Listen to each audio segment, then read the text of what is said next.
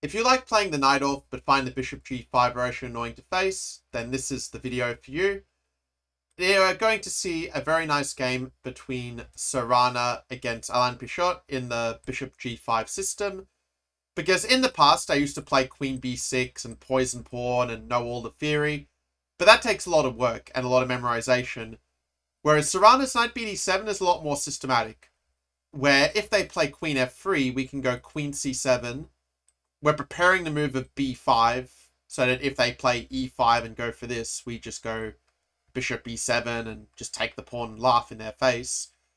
But also, if they play a bit more quietly, like bishop to d3, for example, well, then we can just go bishop b7, and you're sort of noticing that white's not really managing to get in their usual g4 and g5 to attack the, the black position. Like, they'd have to retreat with bishop h4, but that's kind of slow. You could play queen g3, but then have b4, and you know, where's your knight going here? You can sort of feel how white has to find some pretty good moves already. He's going to be in a worse position with white, which is one reason you probably want to play the Najdorf to begin, right? Because you can actually fight for an advantage if white doesn't know what he's doing. And if you are enjoying the video so far, do make sure to leave a like and also to consider subscribing to the channel. That way, if you are already a subscriber, you can tap that notification bell, set the notifications to all, that will ensure you get my daily chess training video. Now, in the game, Pichot played the modern mainliner queen c e2. This was popularized by Negi in his old GM repertoire e4 walk from nearly a decade ago. And here, like, the normal approach would be to play something like g4, but the problem is b4 is coming.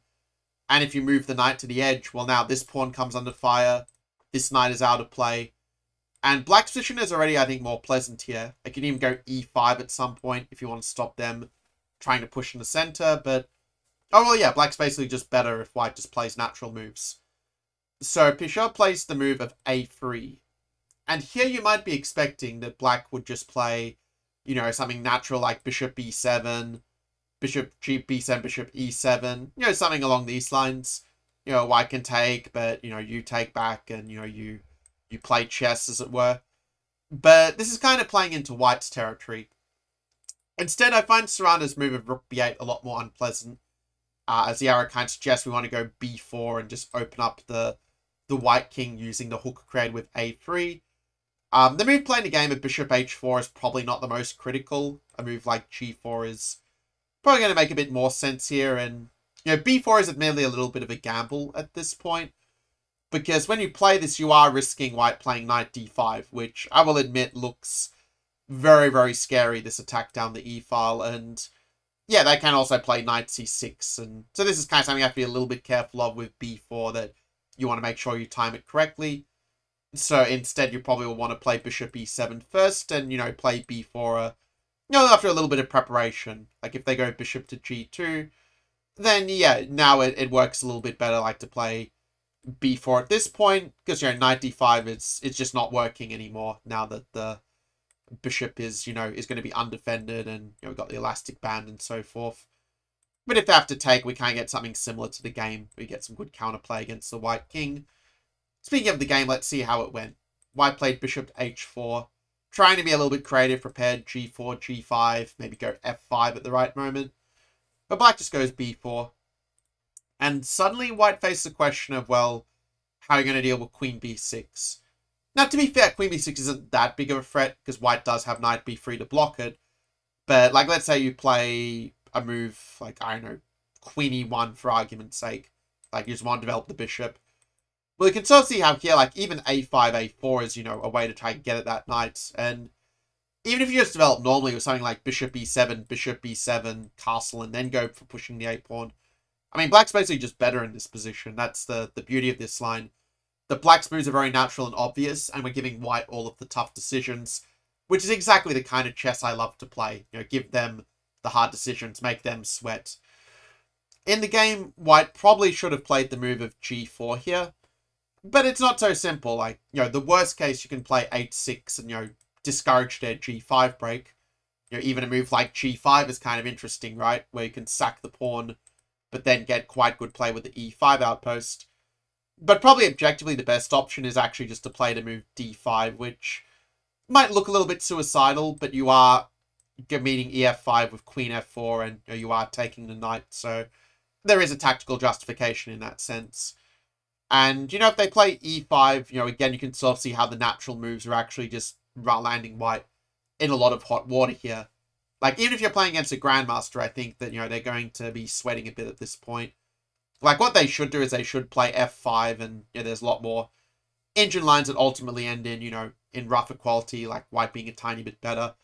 But yeah, it's, it's a pretty decent gamble, you could say, and because there are a few ways that you can play the position depending on your taste of, you know, what you kind of want. In the game, though, white played the move bishop e1, which is just a little bit too prophylactic for my taste. After queen b6, you know, how you defend the pawn. Like, if knight b3, well, if I want to, I can even just play h5 and just, you know, kill the idea of g4, be ready to meet e5 with take and, you know, swing the knight in. You know, that's why we played h5 to defend that way. And yeah, it's just very hard for white to come up with a good plan while black has, you know, all the ideas, all the, the ways to make progress. Instead, white played bishop f2. And turns out knight c5 is actually really strong here, but in the game, Sarana played queen b7. Not not a bad move either. Um, the reason it's not as good as you are letting white go e5 and at least get like some play in the center. But instead, after g4, you know, black, you know, basically was end up doing quite well.